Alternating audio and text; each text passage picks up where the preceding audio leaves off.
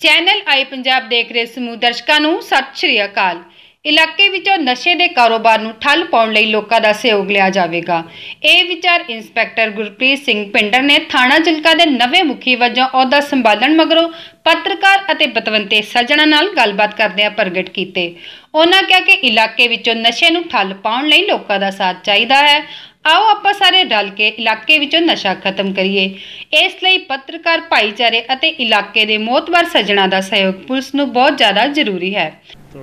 ਆਪਾਂ ਨੂੰ ਸਾਰਿਆਂ ਨੂੰ ਪਤਾ, ਸਰਕਾਰਾਂ ਵੱਲੋਂ ਬੜੀਆਂ ਸਟ੍ਰਿਕਟ ਹਦਾਇਤਾਂ ਨੇ ਵੀ ਵੈਸੇ ਵੀ ਸਾਡਾ ਐਜ਼ ਏ ਪੁਲਿਸ ਅਫਸਰ ਵੀ ਇੱਕ ਫਰਜ਼ ਬਣਦਾ ਵੀ ਜਿਹੜਾ ਵੀ ਕੋਈ ਨਸ਼ੇ ਦਾ ਕਾਰੋਬਾਰ ਕਰਦਾ ਜਾਂ ਕੋਈ ਵੀ ਮਾੜਾ ਅਨਸਰ ਆ, ਸੋ ਆਪਣੇ ਇਲਾਕੇ ਨੂੰ ਅਸੀਂ ਬਿਲਕੁਲ ਸੇਫ ਰੱਖਾਂਗੇ। 1% ਵੀ ਕਿਸੇ ਨਾਲ ਇਹੋ ਜਿਹੀ ਕੋਆਪਰੇਸ਼ਨ ਨਹੀਂ ਹੋਊਗੀ, ਨਸ਼ੇ ਦਾ ਕਾਰੋਬਾਰ ਬਰਦਾਸ਼ਤ ਨਹੀਂ ਕੀਤਾ ਜਾਊਗਾ।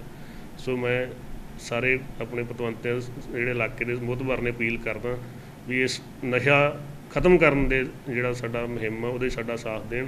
ਤੇ ਸਾਡੇ ਪੱਤਰਕਾਰ ਭਰਾ ਵੀ ਇਸ ਚੀਜ਼ ਦਾ ਸਾਥ ਦੇਣ ਤੇ ਅਸੀਂ ਇਹਨੂੰ ਮੁਕੰਮਲ ਤੌਰ ਤੇ ਆਪਣੇ ਇਲਾਕੇ 'ਚ ਖਤਮ ਕਰ ਸਕੀਏ।